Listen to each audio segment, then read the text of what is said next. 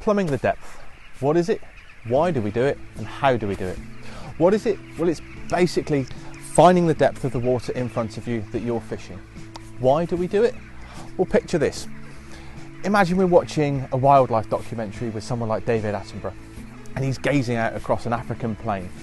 The animals aren't spread evenly across those plains. They are concentrated in areas, particular features, and those features provide typically shelter, food, and water. As we look out across our lake, it's the same scenario. The fish aren't spread everywhere, they will be concentrated around particular spots, and different species will be at different points in the water. So, plumbing the depth will reveal the underwater shape of the lake, which is really important for us when we're actually trying to target specific fish. How do we do it? Well, it's simple. There's a tool called a plummet and when you get set up at the start of your session, take five or ten minutes to do this. As you get used to it, you can do it very quickly, but give yourself five or ten minutes to get this right. Set up your float as you would do normally, but fix either a couple of float rubbers or a couple of small shot around the bottom of the float, but not enough to cock the float properly. What you're then going to do is fix the plummet on your hook at the end of the line so it's locked in place. The plummet will sink the float.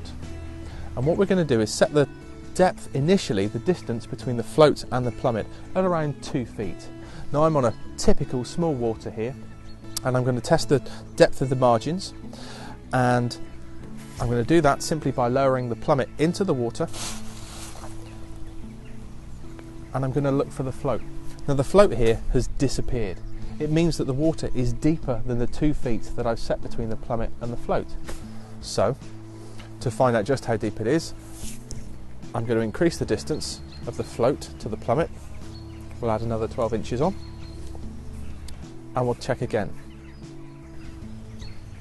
Now I can see the float, but actually it's still below the water, so I still haven't got the depth quite right. Let's have a look again. Move that float one more time.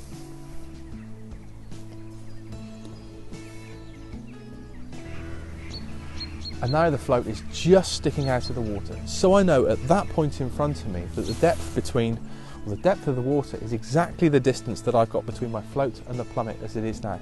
So now I can take off the plummet, add the right amount of shot for that float, stick a bait on, and if I cast it exactly there, I know the bait will be just touching the bottom. Now that's perfect for fish like bream, tench, carp, those bottom feeding fish.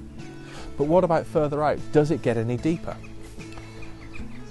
Well, if I swing the plummet and the float further out into the lake, the float's disappeared again. So I now know that the lake is sloping away and gradually gets deeper as it goes out towards the middle of the lake. So if I cast out further, my bait would no longer be on the bottom, and actually those bottom feeding fish would be actually just swimming right under my bait, and I'd be unlikely to get any bites at all. It doesn't take long to do, but it really is simple and it's worthwhile. So at the start of the session, remember to plumb the depth accurately out in front of you, to the right, to the left, and see what the shape of the lake looks like. The sorts of features that you're looking for are rapid changes in depth. So imagine the marginal slope, it's going to gradually slide away, and perhaps one or two rod lengths out from the bank, it's going to plateau. Now, all the natural food and all the bait that falls in the water will roll down that slope, and then when it plateaus, that point there at the bottom of the marginal shelf that's where we're going to see all the all the bait collecting and that's a really good spot to start fishing. Best of luck!